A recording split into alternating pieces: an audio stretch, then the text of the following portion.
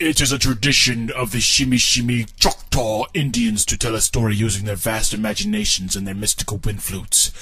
I will continue this tradition tonight, except I don't have a wind flute or an imagination.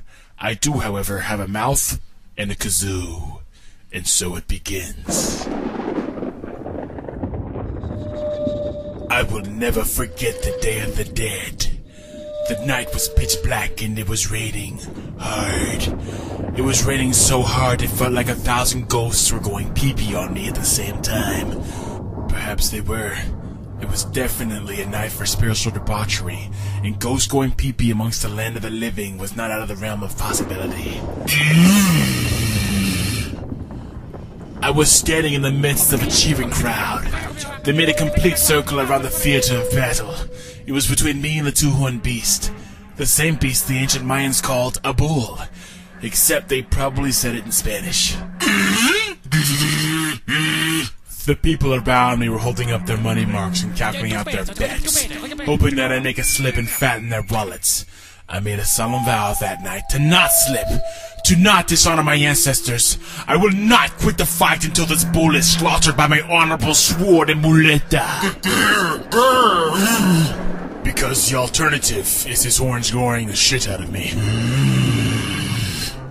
I stared deep into the bull's eyeballs. They looked like two huge, mm, like two, like two huge eyes.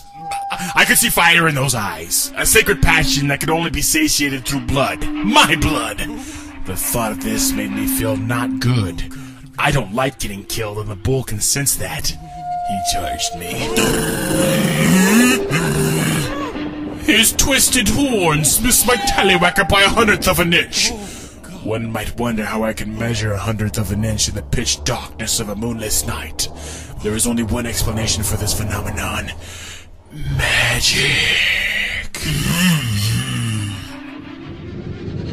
The bull made another run at me.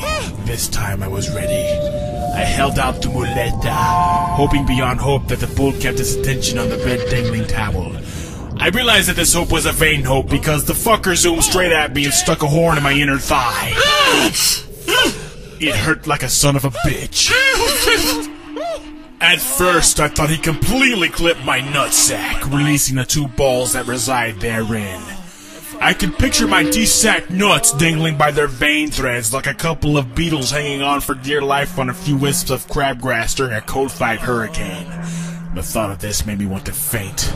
And faint, I did. I woke up three days later in the hospital in searing pain. My wife asked me if I was okay. I asked if my nuts were still attached to my body. We both answered each other's questions at the same time. No, we both answered. I said Jinx.